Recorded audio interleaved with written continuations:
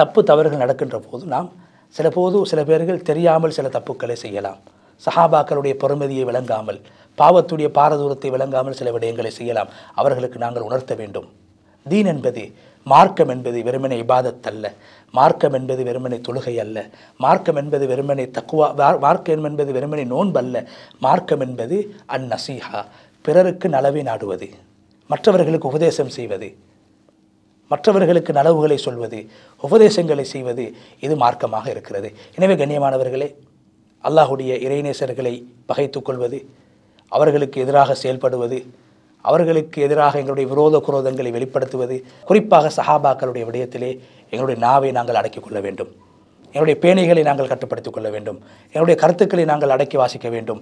சஹாபாக்கள் என்பவர்கள் நபி சொல்லாஹு அலைஹி அவர்களை தங்களுடைய கண்களினால் கண்டு வகையை கண்களினால் கண்டு உயிரை துச்சமாக மதித்து உயிரை கொடுத்து இஸ்லாத்தை வளர்த்தவர்கள் பரப்பியவர்கள் அந்த சஹாபாக்களை நாங்கள் நேசிக்க வேண்டும். அந்த சஹாபாக்களை நேசிப்பது நபி அலைவசல்லம் அவர்களை நேசிப்பதற்கு சமமானதாகும்.